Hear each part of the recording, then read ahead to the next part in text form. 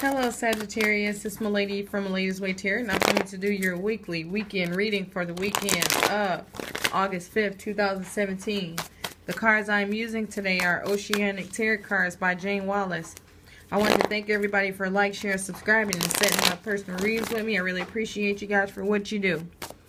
Um, if you make sure to check your sun, moon, rising signs. I don't know if I say this or not. I probably say it more than once, but very important fact. Okay.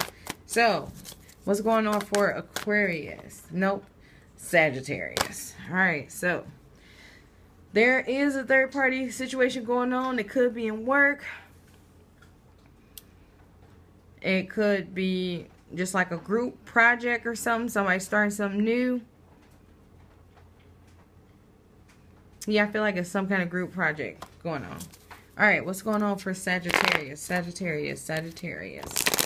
Sagittarius, August 5th weekend, 2017, Sagittarius. August 5th weekend, 2017, Sagittarius. What's going on? Mm, so, okay. so, this could be you reuniting with an old flame. Or this could be, let's go. Let's see. Okay, yeah, so I think uh, in some cases this is like a three-way gone wrong. And I feel like this might be like somebody got their partner's hopes up. Like yeah we're gonna bring somebody in. And then somebody was like well we're gonna bring my ex. And then it was like we're gonna cut that. That's not gonna happen. That's what i'm just feeling like.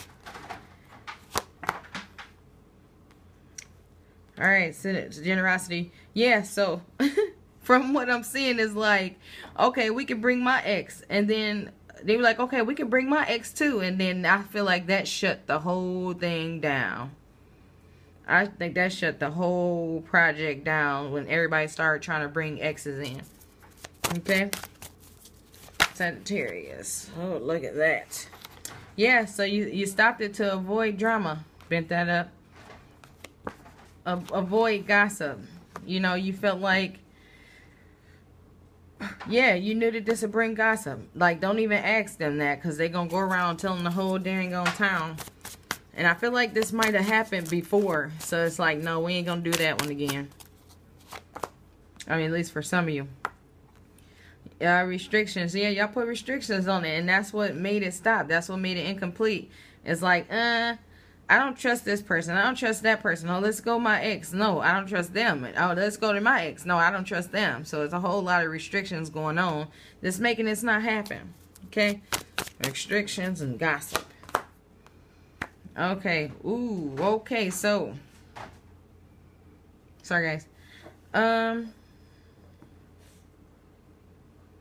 for some of you, this actually broke up your relationship you guys broke up over this because the arguing from let's choose my ex, let's choose my ex, and why my ex is better than your ex just shut the whole party down and the relationship. Okay.